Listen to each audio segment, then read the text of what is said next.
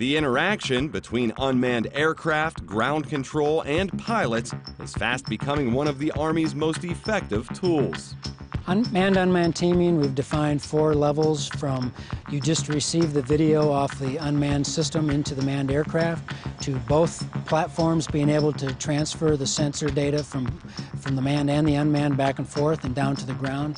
Um, the next level up is the operators of the manned aircraft controlling the payload or the sensor on the unmanned vehicle so they can make it look where they want it to look, which simplifies operation. And the most advanced way to implement manned unmanned teaming is that the manned aircraft actually controls the unmanned vehicle, not just the sensor, but the whole vehicle. Basically, the control on the Block 3 aircraft is the first manned platform to, to be able to do level 2 through level 4 control, which means you can not only receive the video from the UAS, but you can control the UAS's sensor, you can control the navigation of where the uh, UAS goes. And so really, if you think about it from an operational sense, the, the Block 3 crew will no longer have to uh, hear uh, someone talked him onto a target because a picture's worth a thousand words. Pilots flying the Apache Block 3 are actually able to fly an unmanned aircraft like the Army's Gray Eagle and the Shadow right from the cockpit of the Apache. What's unique about uh, the, the Army UAVs is you don't really fly them. You, you tell it where you want it to go, and it, it, it flies itself. It's on an automatic uh, control, if you will, an autopilot. So different sort of from the Air Force UAVs where they actually fly them. We just tell them where we want them to go. And the UAV and the Block 3 aircraft actually share a database of control measures or uh, waypoints. So I can simply, with a couple of button pushes, tell the UAV that I want it to go to a certain waypoint. And the UAV flies there. I can change its altitude, I can change its airspeed, and really via a, couple of uh, button pushes on the aircraft, I can send it wherever I want it to go. You don't actually fly it, you just tell it where to go. That capability can provide invaluable information for pilots in the air and soldiers on the ground. So the manned-unmanned teaming works in several ways. The way I like to describe it is, is, the, is the hunting dog out in front of the hunter. When you know what's on the ground before you get there, when you know what, what your targets look like, when you know what the terrain looks like before you get there, it's a big advantage for that manned aviator. In addition, now with the incorporation of the laser designation, our UAVs can lase for a target and then they can shoot their Hellfire missiles from a great distance, sometime without ever seeing the targets.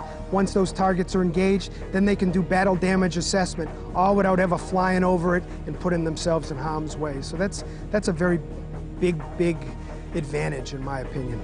The manned unmanned operating system is intended to work seamlessly between manned aircraft, UAVs, and a UAV ground station. So why is interoperability important? Um, it's, it goes back to, to now that we've grown and are at all echelons of the Army, from small all the way to the big Gray Eagle, which is the Army's biggest UAV, to be able to talk the same language, to be able to share the same videos, to send the same messages up to the airplane and back, and to those, those same messages and photos, as well as full motion video to the tactical edge or to our UAV recipients. Um, it's very important that we all have universal or interoperable products and standards. The Army recently had the chance to demonstrate this cutting edge technology at MUSIC, the Army's Manned Unmanned Systems Integration Capability Exercise at Dugway Proving Grounds in Utah all of the MUSIC exercises are focused on getting new capabilities integrated into the platforms and out to the soldier. In the old days, so to speak, you know, we would look at a map and we would do as much map reconnaissance as we possibly could, and we would try to understand, you know, looking at pictures, what it is that we're getting into. But now, literally with an unmanned aircraft vehicle overhead, looking at that landing zone in real time, that helicopter pilot is going to be able to know exactly what's going on, know exactly where he's going to land, and uh, there, there should be less room for surprise. I want you to keep eyes on him. Let me know if you lose sight if he's heading towards my direction. I'll go ahead and fall back. right now, I'm trying to get eyes on. So obviously the benefit for the soldier on the ground is now he's got a level of situational awareness that he didn't have before that just, you know, really enables him to truly understand the situation that he's about to get get into.